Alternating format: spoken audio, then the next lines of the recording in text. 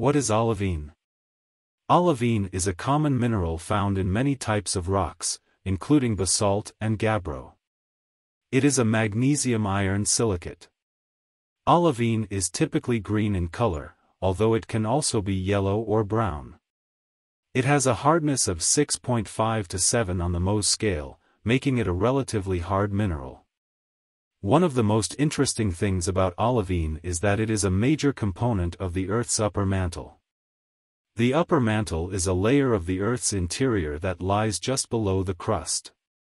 It is made up of solid rock that is partially molten, and it is believed that olivine is the most abundant mineral in this layer. As such, olivine is an important mineral for geologists who study the Earth's interior. Olivine is also commonly found in meteorites, which are rocks that have fallen to Earth from space.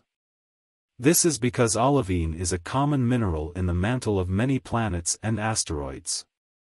In fact, olivine has been found on the surface of Mars by NASA's Mars Exploration Rover.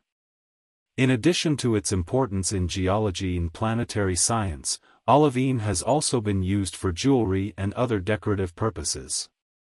It is a popular gemstone, and is sometimes used as a substitute for emerald or peridot.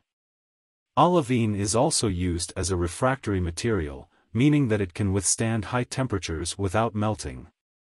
This makes it useful in a variety of industrial applications, such as the production of steel and glass.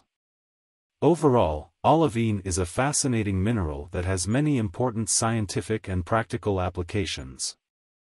Its unique properties make it an important mineral for geologists, planetary scientists, and engineers alike. Please don't forget to subscribe to my channel and turn on notifications.